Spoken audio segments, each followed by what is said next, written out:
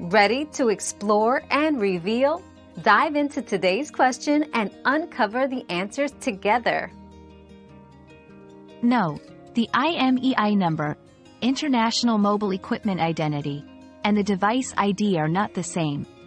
The IMEI is a unique identifier for the physical mobile device, primarily used for tracking stolen phones. In contrast, the device ID is usually a software-based identifier used by apps and services to recognize a device. Our quest for knowledge never ends. Thanks for being part of today's discovery. Subscribe, like, and share to join us on the next one.